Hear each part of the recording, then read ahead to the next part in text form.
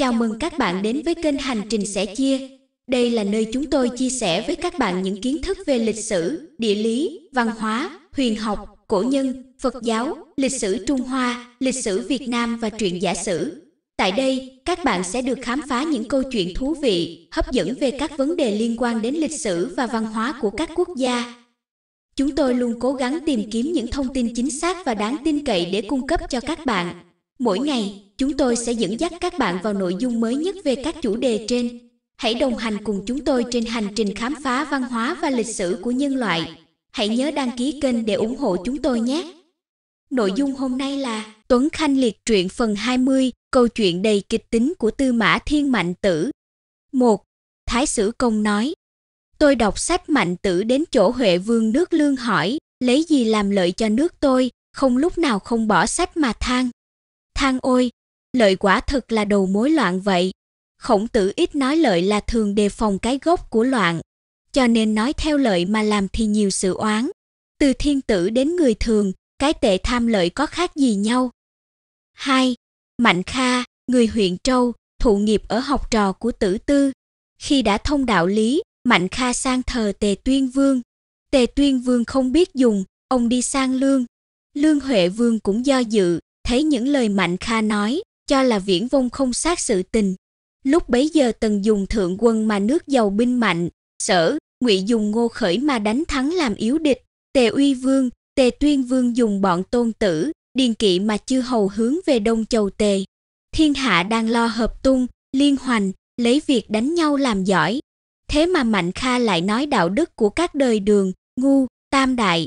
Vì thế, ông đi đến đâu cũng không được vừa ý, Ông lui về cùng bọn vạn chương xếp đặt thứ tự trong kinh thi, kinh thư, thuật cái ý của trọng ni, làm ra bảy thiên sách mạnh tử.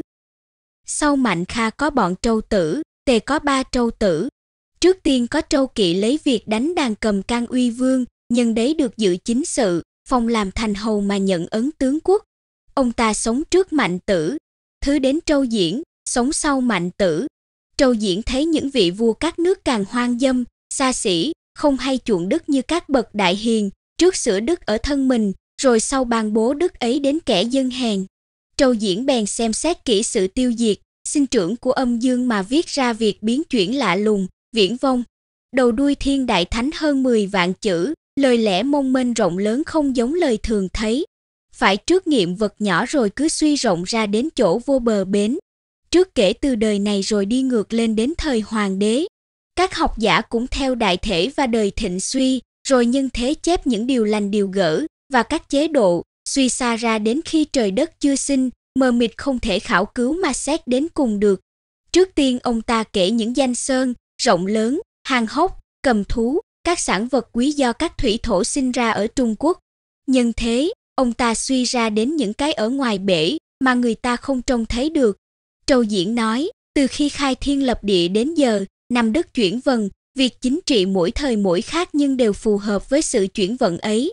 Cái mà bọn nhà nho gọi là Trung Quốc chỉ chiếm 1 phần 81 của thiên hạ. Trung Quốc tên là Xích huyện Thần Châu. Bản thân Xích huyện Thần Châu có 9 châu, nhưng 9 châu của vua Vũ không được kể vào số châu này. Ngoài Trung Quốc có 9 chỗ như Xích huyện Thần Châu, tức là Cửu Châu. Rồi ở ngoài Cửu Châu ấy lại có bể nhỏ bao quanh, nhân dân cầm thú không thể giao thông với nhau như ở trong một khu, thế mới là một châu. Có chín châu như thế lại có bể cả bao bọc ở ngoài là chỗ trời đất giáp nhau. Học thuật của ông đều đại loại như thế. Xong tóm lại, đều cốt ở nhân, nghĩa, tiết kiếm, những điều thi hành ở giữa vua tôi trên dưới, sáu bậc thân, đấy mới là bắt đầu thôi. Các bậc vương công, đại nhân, thoạt tiên thấy thuyết của ông ta đều kính sợ lo lắng muốn thay đổi theo, nhưng sau không thể làm được. Vì thế Trâu Tử được trọng ở nước Tề. Trâu Tử đến nước Lương, Lương Huệ Vương ra tận ngoài đồng đón, giữ lễ khách chủ. Trâu Tử đến nước Triệu, Bình Nguyên quân đi nghiêng người, áo quệt chiếu.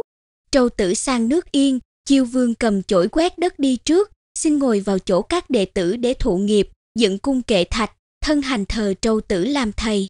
Trâu Tử làm ra thiên chủ vận, Trâu tử đi chơi các nước chư hầu được tôn kính như thế, đâu giống như trọng ni bị đói ở nước Trần, nước Thái, Mạnh Kha bị khốn ở nước Tề, nước Lương.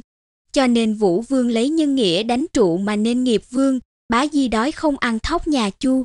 Vệ Linh Công hỏi việc chiến trận mà khổng tử không đáp, Lương Huệ Vương mưu đánh triệu, Mạnh Kha nói việc Thái Vương bỏ đất mân.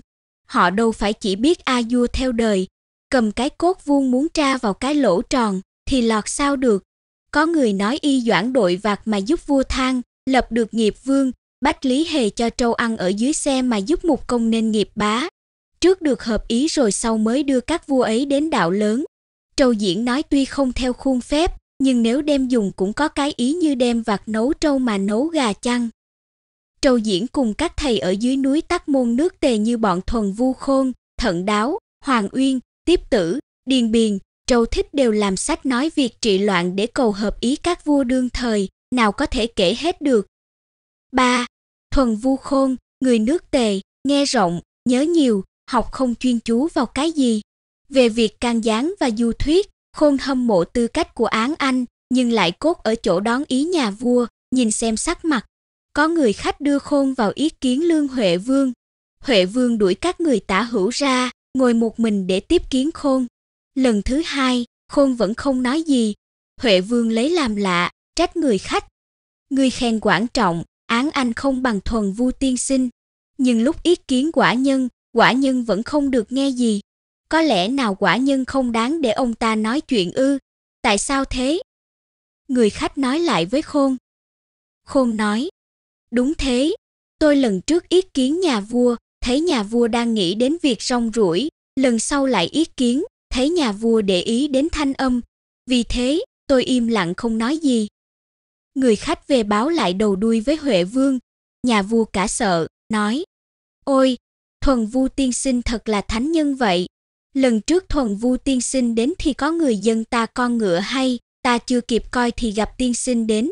Lần sau, có người dân ta người hát hay, ta chưa kịp thử cũng lại gặp tiên sinh đến.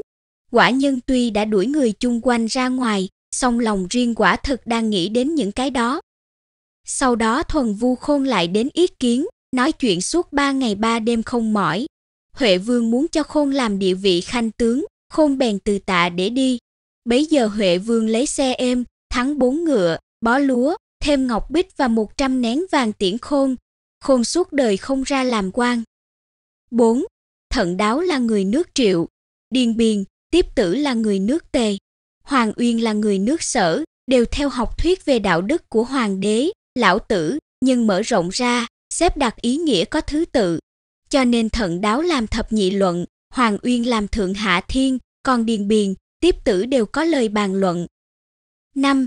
Trâu Thích là người trong bọn môn đồ trâu diễn nước tề, cũng chọn lọc lấy nhiều điều trong học thuật của trâu diễn để chép thành văn. Vì thế, Tề Vương khen ngợi Thích, từ hạng thuần vu khôn trở xuống đều được gọi là liệt đại phu. Nhà vua sai làm cho tòa nhà ở chỗ đường ngã năm ngã sáu có cửa cao nhà lớn, tỏ sự tôn trọng yêu quý, đón tiếp các tân khách của chư hầu trong thiên hạ để nói rằng nước tề mời được các hiền sĩ trong thiên hạ. 6. Tuân Khanh người nước triệu, 50 tuổi mới đi học ở nước tề. Học thuyết của trâu diễn thì vu khoát, huênh hoang, chỉ nói suông. Trâu thích thì văn hoa đầy đủ nhưng khó thi hành thuần vu khôn thì ở lâu mới có được điều hay.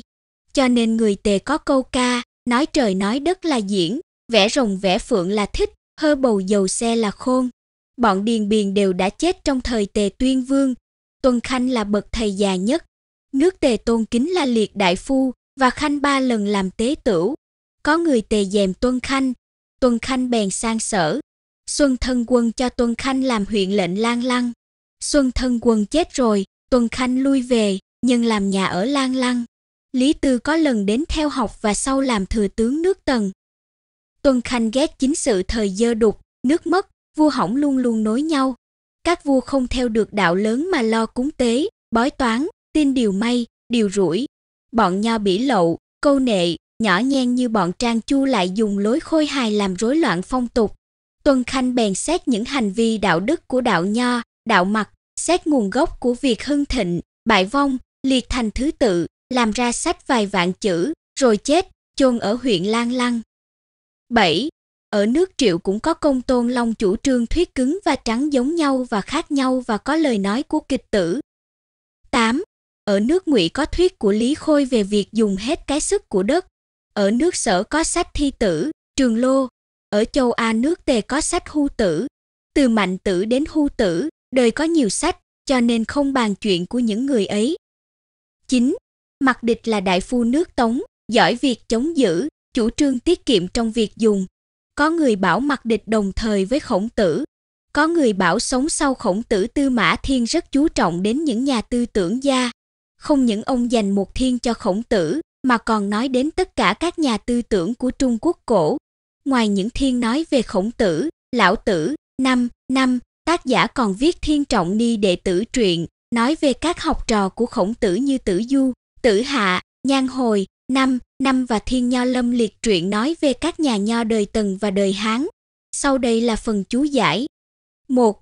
Bầu đựng dầu của xe tuy hết dầu, nhưng hơ nóng thì còn có dầu chảy ra. Ý nói thuần vu khôn có nhiều trí thức khó mà hết được. Hết phần 20 hẹn gặp lại quý vị và các bạn ở phần tiếp theo với nội dung Bình Nguyên Quân, Ngu Khanh liệt truyện. Thân ái chào tạm biệt và hẹn gặp lại.